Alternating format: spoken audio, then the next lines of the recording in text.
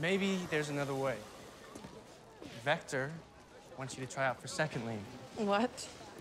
You become a big motorball star, make a pile of money. We could go to Zalem together.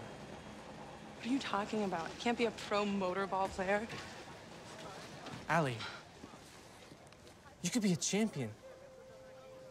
You win this tryout, every scout will be killing each other to get to you. We'll be home free. Only if you'll be my coach. Well, if that's what it takes. That's what it takes.